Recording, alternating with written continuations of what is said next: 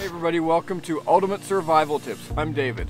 Today I'm going to take you behind the scenes into a series that I've been shooting for over a year and a half on how to become a beekeeper. I've been keeping bees for over 20 years now. So today what I'm going to do, I'm just going to talk you through some methods and practices and take a look inside these hives and start to prepare them for the winter, start to prepare any that have extra honey for us to be able to extract that sometime in the next month. I think it's going to be interesting and probably enlightening and my hope is that you too will want to become a beekeeper.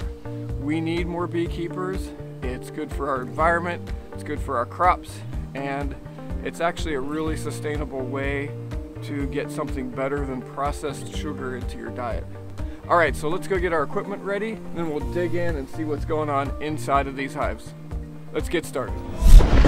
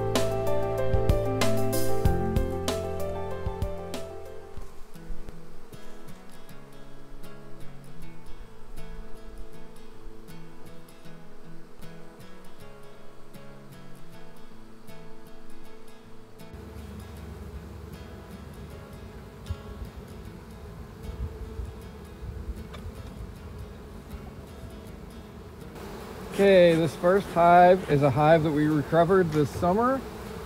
Again, that'll be in our video series. But this was a swarm hive that we found in a tree close by. And what we do is we first smoke the hive here. And what that does is it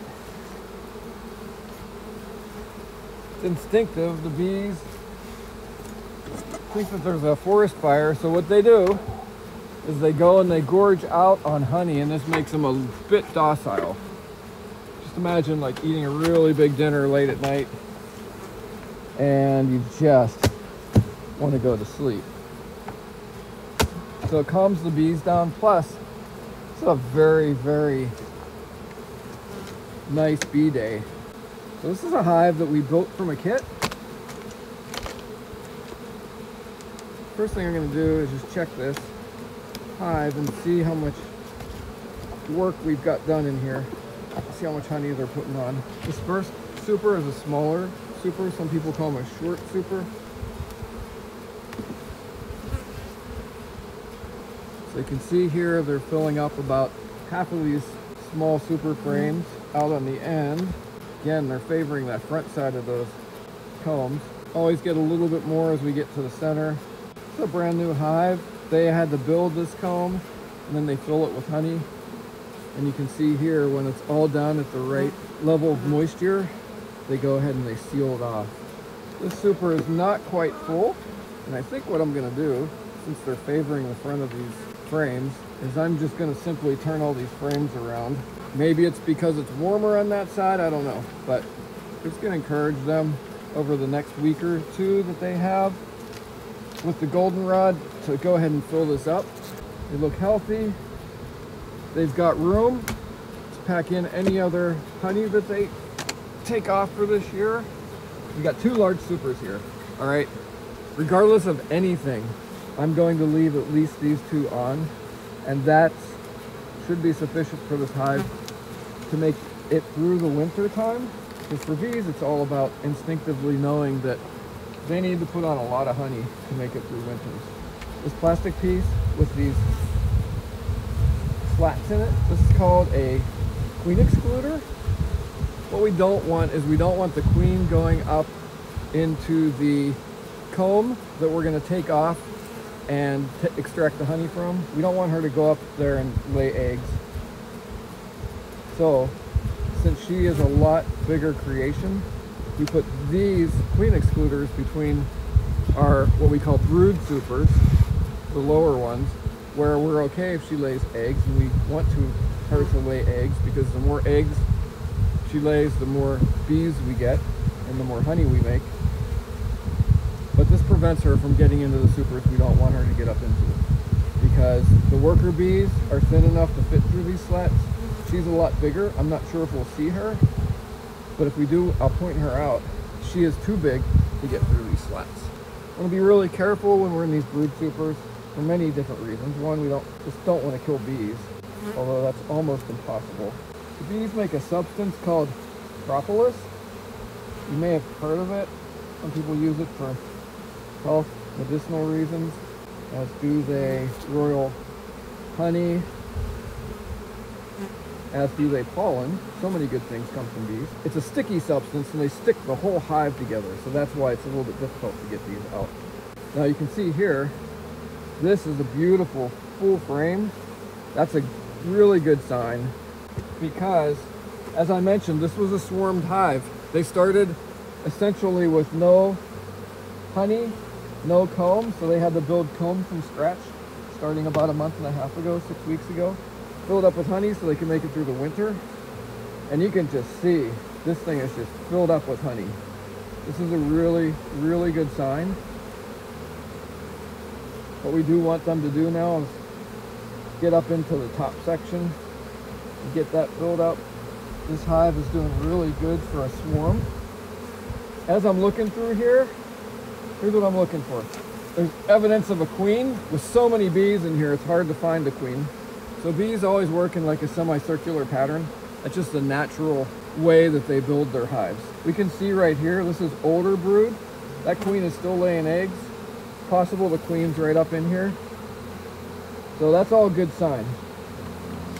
What I'm looking at here is I'm looking at honey. I'm looking at a lot of bees. I'm looking at brood. Those are all really good signs. This hive's gonna have a really good chance of making it through the winter we have a pretty good indication that we've got a good healthy queen in here. If they filled this up in the next week or two, I would take this off. And I would that would be some of the honey that we keep for this year and extract it. That's really all I need to see. I just need to see, I don't want to disturb hives any more than we need to. I know we have a queen. We've got honey. We've got a lot of honey down here. I'm expecting that down in this brood super, there's a lot of honey and a lot of bees. The sound of these bees, when you've worked bees as long as I have, a pretty happy sound of bees. So the bonus is we don't really want our hives to swarm. They just do for various different reasons that I'll cover in another video. The good thing was that this hive swarmed early enough that they were able to recover fill a hive so that it looks like they're going to make it through the summer and next year we'll probably get we might get 100 pounds of honey off of this hive okay let's move on to the next one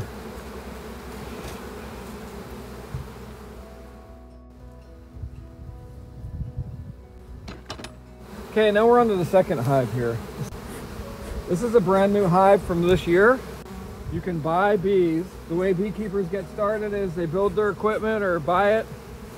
I prefer building new equipment. It's kind of fun and it ensures you don't have any diseases in your boxes from days gone by. So what you do is you buy bees. You buy a package of bees. You get a package of two or three pounds of bees with a queen in there. So this is a brand new hive. Brand new boxes that we built. Came from a package that I got from Draper's Bees in Millerton, Pennsylvania. If you know them, if you don't, you should. They do mail order. You can get all your bee supplies from them. The Drapers have been friends of mine and helped me through my 20 year journey with beekeeping. They have observation hives in Millerton. They'll do field trips, all that sort of stuff. So go check them out. If you go there, tell them David sent you. It's a family run business. Fantastic people. This is the hive that appears to have the most full of bees. At night, especially nights where it's warm, the bees will come out and vent the hive. Mm-hmm. And so what you'll do on this porch down here, you'll see a lot of bees out there just like venting the hive. They like, they act like a fan and they circulate out so they don't get too hot and they try to move the air through the hive. When you're starting a new hive, you've basically got frame and foundation, which is wax, but there's no comb on it. So you put your queen in your hive and she's got nowhere to lay eggs and you need her to be laying eggs as soon as possible. This is beautiful. This is all fresh, drawn out comb from this year, almost filled with honey. And you can see right now how quiet and docile the bees are. And they're just, they're drinking honey because I smoked this hive and they're gorging out on honey. And what that does is it really doesn't deplete your honey supply at all, but it makes them uh, very quiet for a while. You can see we've got comb, comb drawn out and they're capping it. That's a good sign. Now remember, they, they work from the center out generally. So as we get to the center frames, what we should see is we should see more and more honey capped off. Again, we've got, this is not honey sticking all this together, it's propolis. It's a substance that the bees make, mostly from uh, evergreens that sap, like pine. Around here they would be using pine. So you can see this is almost totally capped off, a little bit less capped off, but these are full of honey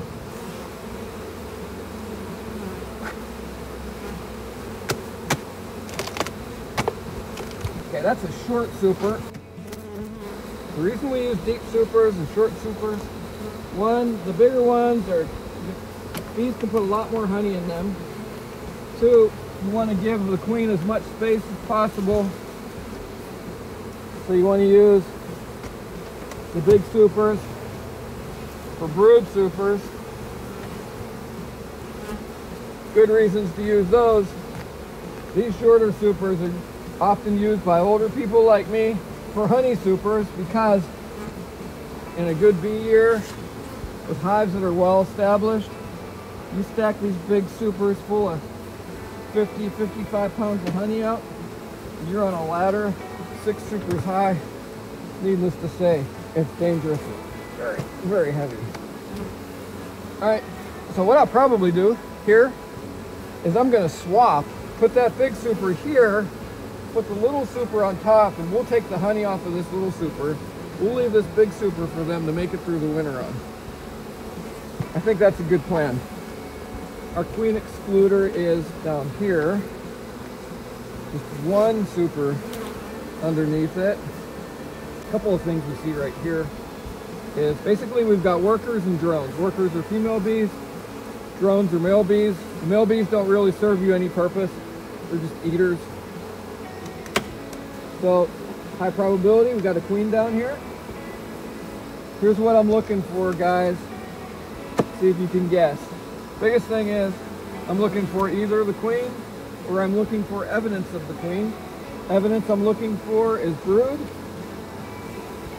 or eggs and larvae. I do believe this is a marked queen, so cost you a little bit extra, but what they'll do is they'll put a painted stripe on the queen's back. It never comes off. And that way she stands out in the crowd and you can find her easier. But there's little tiny eggs in there. That's good evidence that we have a healthy queen who's laying. Right here we've got some capped off brood. Uh, by looks of it, those will be emerging. It's approximately a 21 day cycle for bees from the time the queen lays an egg till the time that the brood hatches and the bee, the worker bee comes out. Man, if I had to guess, I would guess you would have a queen right in here somewhere. Basically, for any particular reason, if a hive, the workers feel like the queen's not doing a good job, make a couple of queens, and the way they do that is they'll select some worker bees and they'll feed them the royal jelly. Again, a special substance only the queen gets. We got some concerning stuff going on down here, which is exactly exactly why I wanted to check this hive. Again, if we had a swarm happen at this point in the season, the hive may not survive, at least the swarm portion. Could be a good thing, less, less bees eating all your honey. But the bee population will go down significantly. We'll go from 50,000 bees down to maybe 5, 10, 15, 20,000 maybe lower. A lot of attrition happens in the winter time, is all natural. Okay, so confident we have a queen here. They have almost no honey down in this bottom super. What mm-hmm. they've done is they've done the smart thing. They've reserved it for the queen to lay eggs. Done a good job. I may not take any honey off of this hive this year. Before we put the queen excluder back on, brushing some bees off here so we don't kill too many. Right now I'm going to let the queen function within the bottom two supers here. Hopefully they'll start putting more honey in that bottom super. I want to take this honey off. Now I don't have to worry about a queen up here.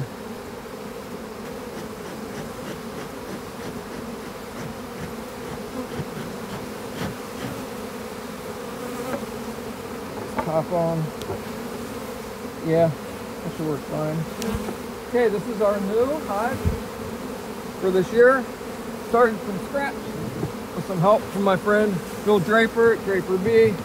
Thanks, Bill, for all your help, advice, and for a couple of frames that had comb on them already.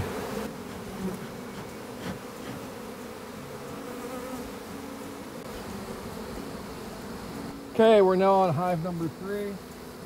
We got one, two, three large supers on this one, plus a small super on top. This is the one that we started at the beginning of this series a year and a half ago. Some of this equipment was older that I had left over and I re-upcycled it, reconditioned it. The interesting story with this hive is the fact that this is the hive that swarmed harder for bees to make it in the wild now because there's a lot of diseases mm-hmm. and things like varroa mites that affect bees. This top super is a brand new super from this year. And you can see they're doing a nice job with some honey on this. It's good. These are the outside frames too, so that one's, they gotta build that out a little bit more, cap those off. I'll take anything that they cap off fully. I'd rather see full frames capped off just because once this honey will preserve for years and years and years in capped off frames because bees do everything for long-term storage that we ought to do. Mm-hmm. They get the moisture content right, they lock out the air, they lock out the sun, they regulate the heat in the hive. Brilliant. So this is looking pretty good. This is almost full. Uh, man, I'd love to take this super off for our own honey. We probably would have one or two more supers on this hive had they not swarmed. So the advantage of the swarm is that we got another hive sort of kind of for free. The disadvantage is it took away from this hive that could have produced a lot more honey from, for us. Instead, the bees from this hive went, started a new hive, created two or three supers full of honey, for that hive, and that would have been honey we could have taken off of here for this year. I've got 10 frames in my hive. When you're really uh, looking to make it easier to extract your honey, a lot of guys will go with nine frames. That makes the bees, forces them to build out the comb a little bit further, and then you can use a special decapping knife right along the edge of the frame to uh, cut the caps off and extract the honey easier. This year we'll just scratch off the caps and I've got a friend who has a really good extractor so it's not an issue either way for us. It's all pretty full. Look at that. That's beautiful. That's all, that's stuff we can take off. Beautifully capped. a lot of honey in here. I'm expecting this is to be pretty heavy. Not a whole lot of action on this frame. That's fine. These outer frames we'll just leave. We don't need to mess with them. But if they give me seven or eight fully capped off, beautiful frames of honey, that's not bad. And your smoker, if you don't want clear smoke because it's too hot, you want nice, see that? Just nice white smoke like that. That's what we want. Otherwise, you can just burn your bees. All right, as you can see in this one, we're giving the queen a two bottom supers here. So this is a metal queen excluder. I don't know. I like old school things. I prefer these, but they're a little bit harder to come by. And when I got my new hive kit builds, basically they come in parts and boxes and you put it all together, paint them. They all come with the plastic excluders now. That's why I have so many of them.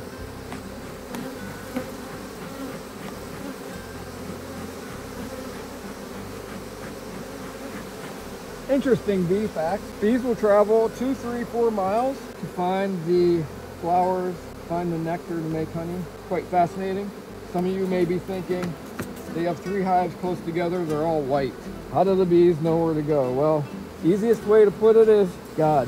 These have a very complex language and they have a GPS system in them that second to none all built by the creator so they can find their way back to the hive even from miles away and they hone in and know exactly what hive to go into and it's not just GPS either every queen has a different scent smell they they have pheromones so they know their queen I'm just ripping comb off of there there you go right there that's some honey baby wow all right I'm not fussing with this one anymore. Looks like we got a full super right here. Honey. Okay, other cool bee facts. Never swat at bees, hornets, or wasps. They have a natural attack instinct that if you swat at them or you move fast, like running away. Now, if you're like really attacked, you need to get out of there quick. But there's just a couple or one that's bothering you, back away slowly. Don't swing at the bees. Hornets are just nasty. Another bee fact. you will get stung if you become a beekeeper. Downside is. It's a word. Mm-hmm. Yep. Sounds like it feels. Upside is actually folk medicine and there's actually a lot of good These things can help with arthritis, folk medicine. But if you think bees are fascinating, you got somebody who's willing to teach you, I would start with your county extension agent. But you are going to get stung now and again. Especially if you work your hives for like an hour. And you get into like really big hives and you make everybody mad when they're having a good day. So hive number three is done. My analysis is, remember this is the one that swarmed, which is concerning because I think most of the bees, like probably two thirds of the bees went with the new queen. Probably a third stayed with the old queen, but this hive has recovered well. We're probably gonna take off 50 pounds of honey off of this hive, even though it was a swarmed hive. So we're done with all three.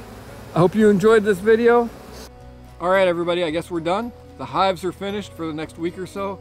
If you'd like to see more content like this, don't forget to subscribe to this channel, let me know in the comments, and smash that like button. I hope to see you on the other side, and remember, be prepared because you never know.